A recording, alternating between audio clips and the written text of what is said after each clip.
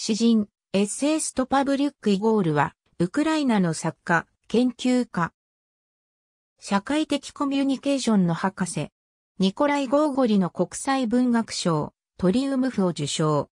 受賞者の英語国際ペンクラブ、2021年、スイス文学賞を受賞。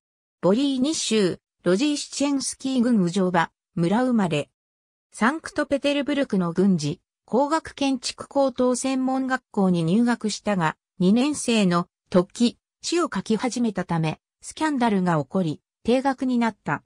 刑罰として、囚人と一緒に道路の建設作業をするために強制的にザバイカルの大河に派遣された。